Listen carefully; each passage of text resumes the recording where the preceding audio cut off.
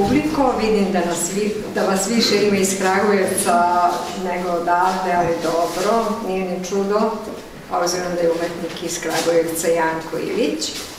On je nama već poznat i ovoj galeriji, obzirom da je bio na šestom međunarodnom bijenalu crteže i grafike ovde prisutan i nagrađen, dobio je treće mesto upravo za ovakve radove. Pa ne znam kako, bilo je mnogo umetnika, svih ovih godina i ove godine i svi se slažu da su izložbe sve bolje i bolje, da su umetnici sve kvalitetniji, ali neki stice okolnosti je doveo do toga da je možda on čak i, da je ovo čak i izložba godine, obzirom da smo odlučili da njegov rad jedan otkupimo sa našim jadnim malim budžetom, ali eto, to je ovaj rad upravo koji je sa moje leve strane. Janko, inače, 2001. godište, četvrta godina, završava umetničko-filološki fakultet, oci grafika, učestvovao na preko 20 živiranih izložbi, uglavnom zajedničkih, ali ovo je prva prava samostalna izložba. Bila je jedna u nekoj osnovnoj školi u Kragujevcu, ali ovo je prva prava samostalna izložba i e, galerija na ovaj način podstiče mlade umetnike, e, imamo dobrih iskustava, jednom je pokojni profesor Bisenić samo par lepih rečenica rekao jednoj umetnici, i ona je za par godina stigla sa svojim radovima i do Amerike, tako da, eto, to je ta priča i nema druge priče. Evo ja ću sad dati reč Janku da malo objasni svoje divne radove. A, pre svega dobroveče svima i hvala vam što ste došli na otvaranju moje druge samostalne izložbe. Pod nazivom Multihromatski svetovi.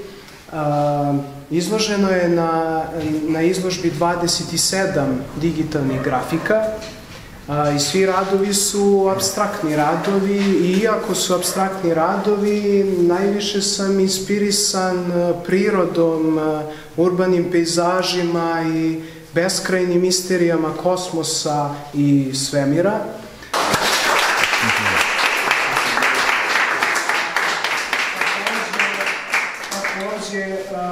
Obratit će vam se gospodin Radenko Milanović, član udruženja književnika Srbije, koji će pročitati jednu njegovih pesama, koji on spremio za večerašnje otvaranje moje samostane izložbe. Izvolite. Kako, kada sam odedirao ovu pesmu, prvo sam dobro sagledao ove grafike, pa sam uglavnom pokušao da ova moja pesma se približi ovome Mislim da ima tu neke sličnosti, a vi ste to sami zaključili. Pesma se zove Nebeski znakovi. Riječi su tajnovito sjeme, zlorade su i blagoslovene, riječi su zakoni života, bez njih bi se svijet skamenio, sve prohu i riječi ostaju, zato se u njih zaklinjemo, bez jezika nemamo obstanka. Riječi su njegova presica, sa njego je nebo nakićeno, riječi su nebesko svetilo, riječi se iz duše rađaju, svaka riječ ima harmoniju, kakva duša, takve i riječi. Ćirilica o zlata tkanica, nije zalud narod odredio, za poštenje riječ uhvatio svu istinu, riječ pokrijeva, za riječ se glava polagala. Pečati su brlja na artiji, riječi su zlata za ovoga, ko umije još da ih tolkuje, bolje ga mu ne treba za rada.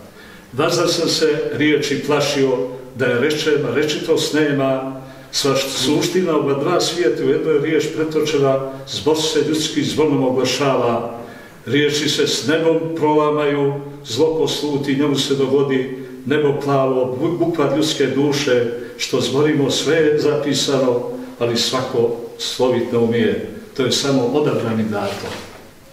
Davno bješe Tales iz Mileta, nebeske čitao znakove, zvezdane putanje gledao, Vaseljena, najunija knjiga ponekad su snove prikaže, ali niko zapazit ne može, poete se za nju otimaju. Još je niko dočitao nije, tajna tajnu tajnu osnažuje, svjestosti su neba gospodari, duh starije nikad ne nestaje, zemlji šar je samo uspomena na nebesko vječito trajanje, ljudska srce ne dolazi sama, punoća je duše blagostanje. Hvala. Hvala.